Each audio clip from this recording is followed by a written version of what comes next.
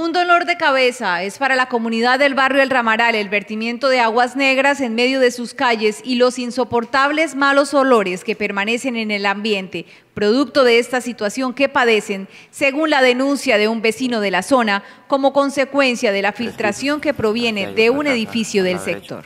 Hay un vertimiento de aguas negras que, que, está perjudicando acá a este sector. Los malos olores vierte por entre el mismo piso de,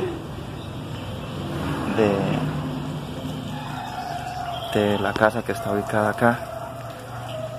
Estas aguas negras vienen provenientes de, de unas torres que construyeron hace aproximadamente unos 3-4 años. Lo que afirman desde la comunidad es que a pesar de los llamados a administradores del edificio y a entes competentes, no han recibido ni respuesta ni mucho menos el planteamiento de una solución.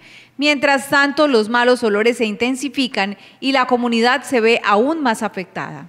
Eso viene de las, esas aguas negras vienen del portal 65, son unas torres que construyeron hace más o menos cinco años, pero no tienen la capacidad como tal para el desagüe aquí por este sector. Malos olores, eh, que los niños ya no pueden jugar aquí en esta zona, eh, hay guarderías aquí, aquí a, 20 metros que también perjudica el, mal olor y, pueden ver en los, en los videos cómo, cómo está esto de terrible. Ya hablé con la administradora pues, del, edificio y le manifestamos, pero manifiesta que, pues, que no es problema de ella prácticamente.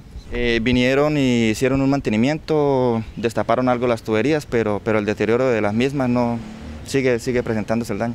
Yo creo que aproximadamente unas 30 familias se ven, se ven afectadas porque alrededor, si podemos apreciar en los videos, que eh, podemos ver que estaba en una parte central del barrio.